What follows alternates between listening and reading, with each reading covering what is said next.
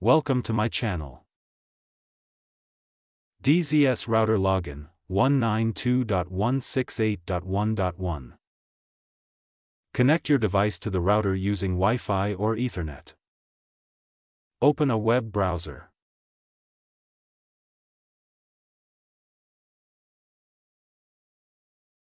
Type 192.168.1.1 into the browser's address bar.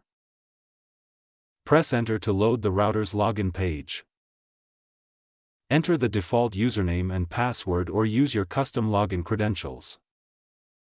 Click Login or press Enter to access the router's admin panel. Navigate through the menu to find the desired settings. Take necessary changes and click Save or Apply to confirm.